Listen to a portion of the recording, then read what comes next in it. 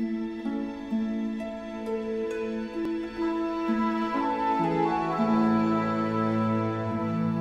au temps des patriotes. Ça fait drôle de parler de Noël au temps des patriotes parce que ben, les patriotes ne fêtaient pas vraiment Noël. Il faut savoir qu'on va fêter davantage le jour de l'an. C'est là qu'on va donner les étrennes. Là, vous dites, les étrennes, c'est quoi? C'est des cadeaux, tout simplement.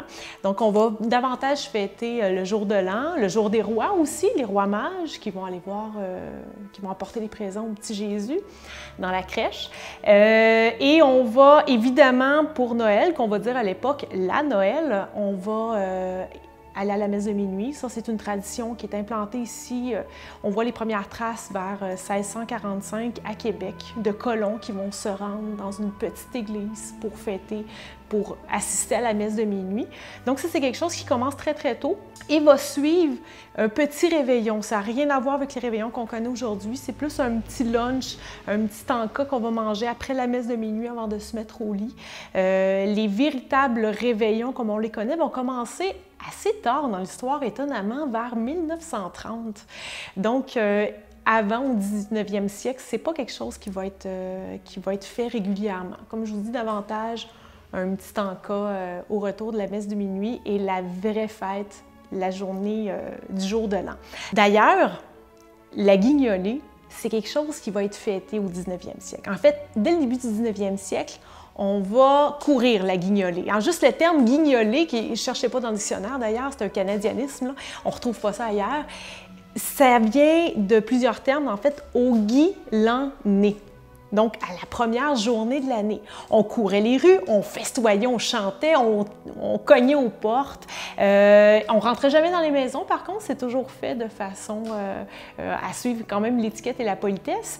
Et on récupérait des dons, en, rarement en argent, plutôt en denrées, en nourriture, vêtements, charbon, bois, qu'on ramenait à l'église, à la sacristie et qu'on divisait euh, par la suite pour redonner euh, aux plus pauvres. C'était véritablement ça, euh, l'époque de la fête de Noël, si vous voulez, du jour de l'an, au début du 19e siècle. La tradition des sapins de Noël, ça, ça va commencer un peu plus tôt. En fait, plutôt des sapins décorés.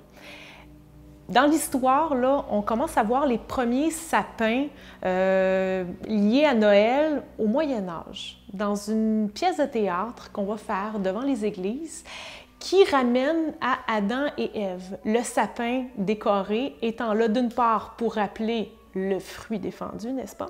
Donc c'est pour ça qu'on va beaucoup décorer les arbres de Noël avec des pommes, avec des denrées alimentaires.